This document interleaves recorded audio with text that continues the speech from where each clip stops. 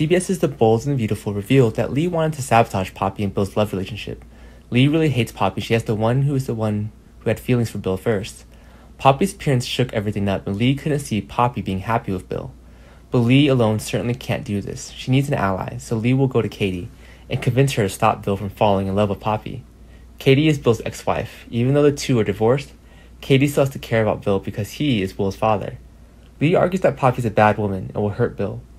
Li, Poppy's older sister, so she understands Poppy very well. And Poppy doesn't love Bill at all, but he only looks at his asset. And Bill didn't realize Poppy's evil nature. He's been single for a long time, so he wants a woman by his side. Katie believes Li is telling the truth because Li is a respected doctor. Li has always been a very kind person, and previously Li also rescued Finn from Sheila's custody.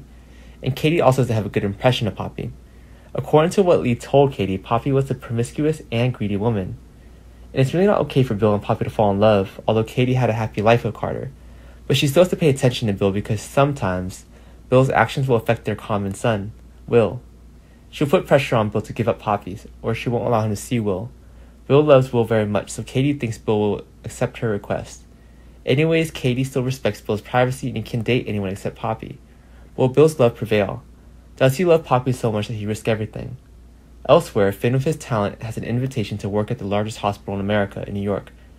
This is a good opportunity for Finn. He will be working in a more professional environment at that time, and he will also be able to develop his full potential. But Finn is very hesitant.